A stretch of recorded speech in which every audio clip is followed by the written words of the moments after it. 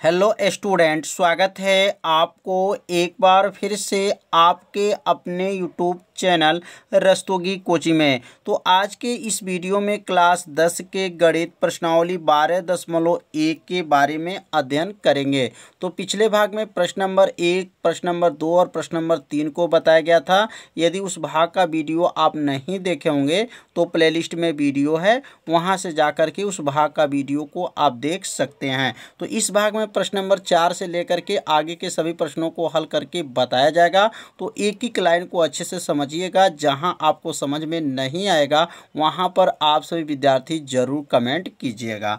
तो प्रश्न नंबर चार है, किसी कार के प्रत्येक पहिए का व्यास 80 सेमी है।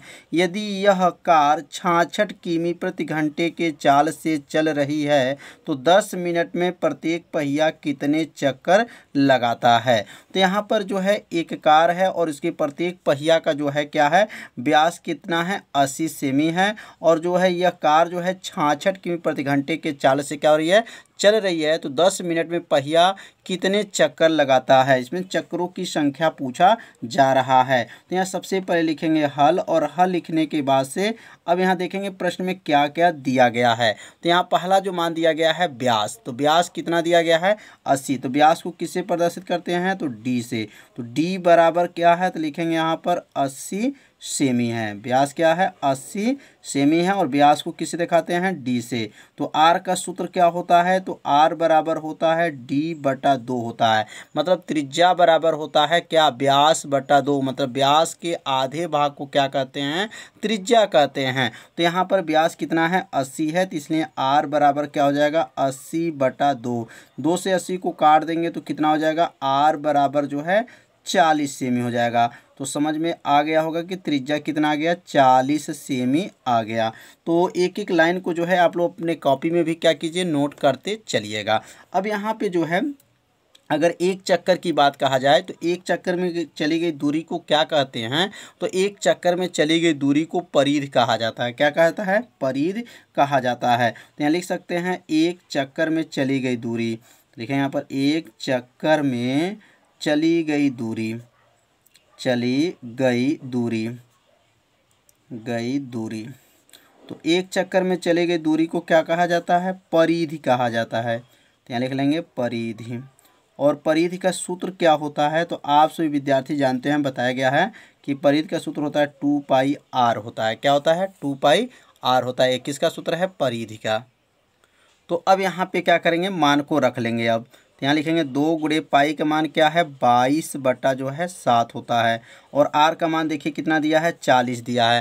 तो यहाँ पर आर का मान प्रश्न में चालीस है तो इसलिए यहाँ क्या लिखेंगे? आर के जगह पे चालीस रख लेंगे। अब सबका गुड़ा कर लेंगे। तो बाईस में दो का गुड़ा करेंगे तो बाईस दूनी चौवालीस, और चौवालीस में जब चालीस का गुड़ा कर लेंगे तो एक हज़ार सात सौ साठ बटा हो जाएगा। बटा में क्या है? बटा में सात है तो बटा में सात हो जाएगा और यहाँ पे लिखेंगे सेमी, क्योंकि परिध का मात्रक, याद रखिएगा, परिध का मात्रक क्या होगा? सेमी होगा। अगर सवाल सेमी में है तो सेमी में होगा, मीटर में है तो मीटर में होगा।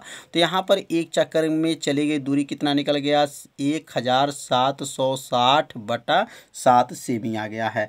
अब यहाँ पर ध्यान दीजिएगा, अब इसका स्पीड क्या है? छाछठ किमी प्रति घंटे की चाल। है।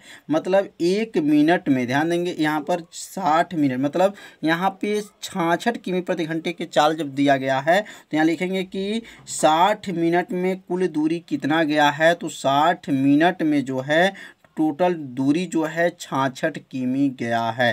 तो यहाँ लिख लेंगे, साठ यहाँ लिखेंगे चूँकि साठ मिनट।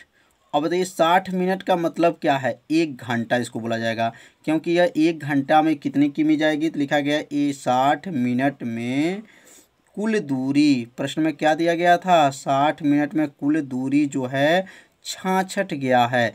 कितना किमी गया है? तो लिखेंगे यहाँ पर, छाछठ किमी गया है। प्रश्न में बोला गया है कि इसकी स्पीड क्या थी? छाछठ किमी प्रति घंटा। मतलब एक घंटा में जो है छाछठ किमी गई। तो यहाँ पे जो दिया गया है, प्रश्न में आप अगर नोट किए होंगे तो प्रश्न को देख लीजिएगा कि यहाँ क्या है। देख लीजिए, कार की चाल क्या है? छाछठ किमी प्रति घंटे की चाल है। तो इसलिए यहाँ लिख लेंगे यहाँ पर एक सा, साठ मिनट मतलब क्या हुआ? एक घंटा। और एक घंटा में कुल दूरी जो है छाछठ किमी गई। तो अब एक मिनट में यहाँ निकाल लेंगे। एक मिनट में चली गई दूरी, एक मिनट में लिखेंगे आपका चली गई, यहाँ लिखेंगे चली गई कुल दूरी।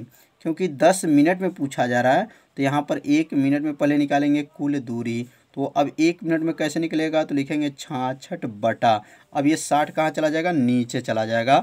तो कितना मिनट का आ जाएगा? एक मिनट का आ जाएगा। तो यहाँ छाछठ बटा क्या हो गया? साठ हो जाएगा।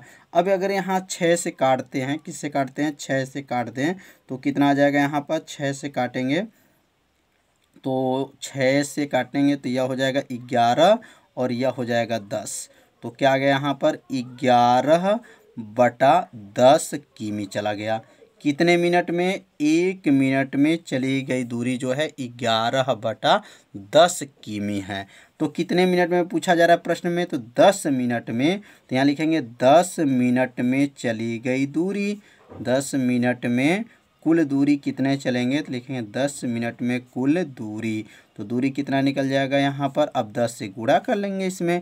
तो ग्यारह बटा दस और यहाँ दस से गुड़ा करेंगे, क्योंकि दस मिनट पूछा जा रहा है, ये कितने मिनट में है? तो एक मिनट में है और यह जितना, जो है दस मिनट में है। अब दस से दस को काट दीजिए, दस मिनट में कितनी गई? ग्यारह किमी गई। याद रखिएगा, दस मिनट में कितनी? ग्यारह किमी गई। अब यहाँ ग्यारह किमी को अगर मीटर में बदलें तो यहाँ लिखेंगे ग्यारह, एक हज़ार से अगर गुड़ा कर लिया जाए तो किमी किसमें आ जाएगा? मीटर में आ जाएगा। अब यहाँ गुड़ा होने के बाद लिखेंगे ग्यारह हज़ार।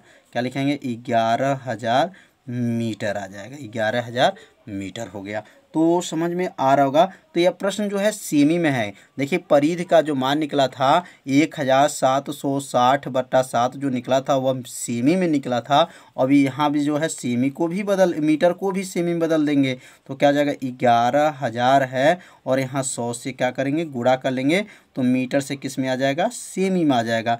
अब कितना आ जाएगा, ग्यारह का नम ग्यारह हो जाएगा।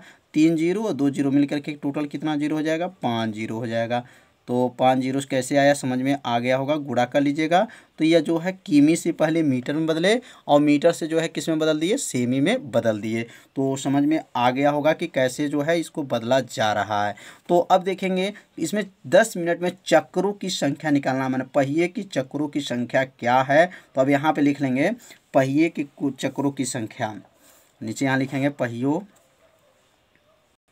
तो यहाँ लिख लीजिए पहिए के, पहिए की कुल चक्रों की संख्या। तो कुल चक्रों की संख्या कैसे निकलेगा? बहुत आसान है। कुल चक्रों की संख्या आपको निकालना है।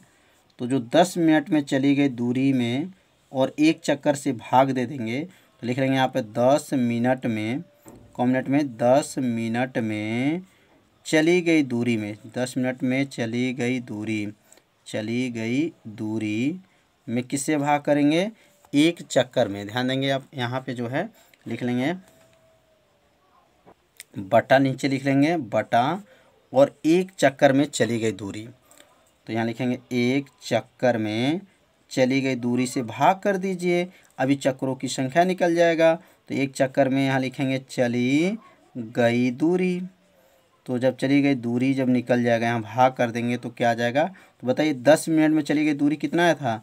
ग्यारह, एक, दो, तीन, चार, पाँच, ज़ीरो था, बटा, और एक चक्कर में चली गई दूरी जो है ऊपर निकाला गया था। प्रश्न में जो है देखे होंगे, एक हज़ार सात सौ क्या था? साठ, बटा क्या है?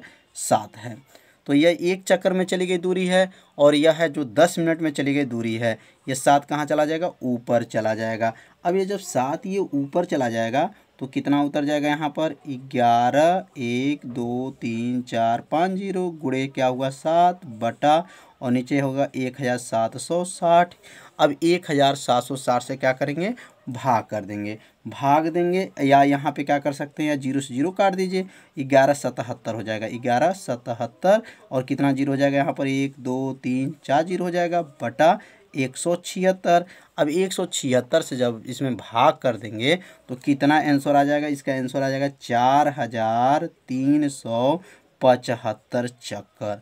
तो इस जो है दस मिनट में कितना चक्कर लगाएगा? तो चार हज़ार तीन सौ पचहत्तर चक्कर लगाएगा। तो थोड़ा सा ये क्वेश्चन बड़ा है, लेकिन बहुत ही आसान है। यदि आपको ये प्रश्न समझ में नहीं आया होगा तो वीडियो को एक बार और देखिएगा, जिससे आपको अच्छे से समझ में आ जाएगा। तो प्रश्न नंबर अब पाँच सीखेंगे कि प्रश्न नंबर पाँच क्या है।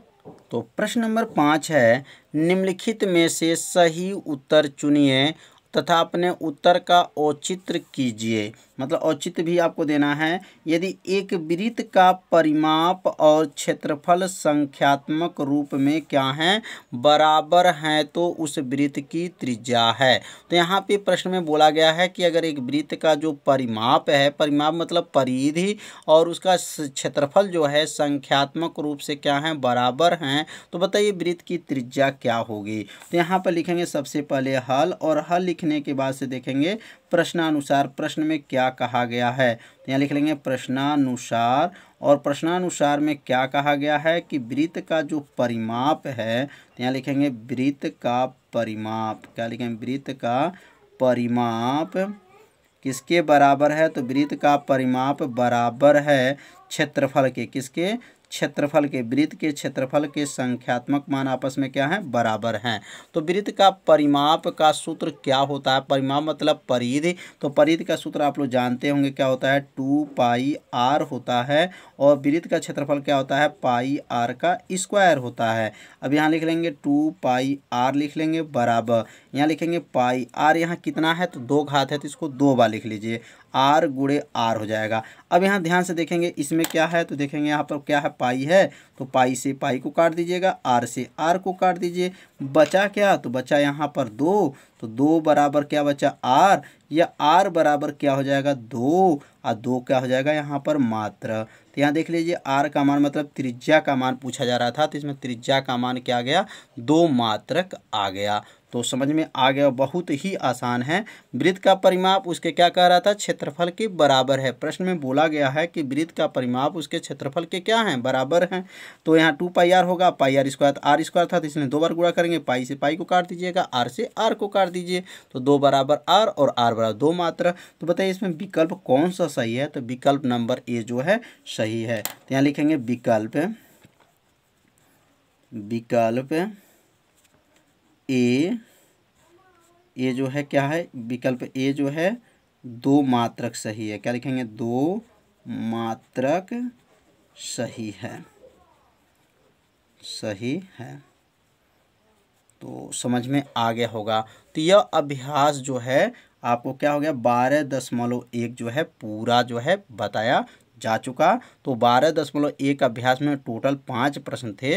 तो पाँचों प्रश्न आप लोग अच्छे से समझ लिए होंगे। तो यदि प्रश्न नंबर एक से लेकर के प्रश्न नंबर तीन तक नहीं देखे होंगे तो प्ले में वीडियो है। वहाँ से जा के उस भाग का वीडियो आप लोग ज़रूर देख लीजिए। कल के वीडियो में जो है बारह दशमलव दो अभ्यास को शुरू किया जाएगा। तो आज का वीडियो कैसा था, आप सभी विद्यार्थी ज़रूर कमेंट कीजिएगा। वीडियो को लाइक कर दीजिएगा और वीडियो को ज़्यादा से ज़्यादा अपने सभी दोस्तों के पास शेयर ज़रूर कर दीजिएगा। मिलते हैं अब अगले भाग में, तब तक के लिए सभी विद्यार्थियों को नमस्कार।